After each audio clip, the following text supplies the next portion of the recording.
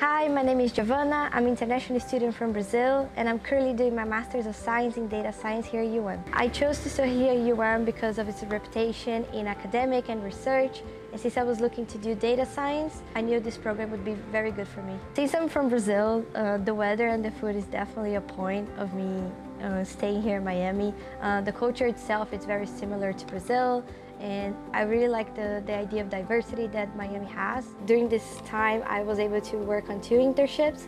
My first internship I did at a Brazilian bank that is established here in Miami. It's called Safra. Um, I worked as a technical trainee for eight months.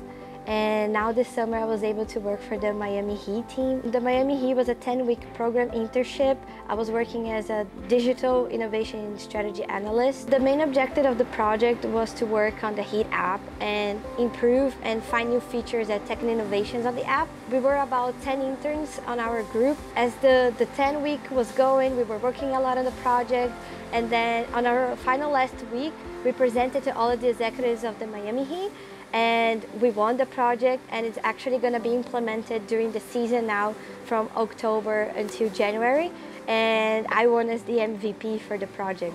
Since I was looking for a dynamic and a diverse place to get my master's, the University of Miami was the perfect place for me. And I'm so glad to be part of the U.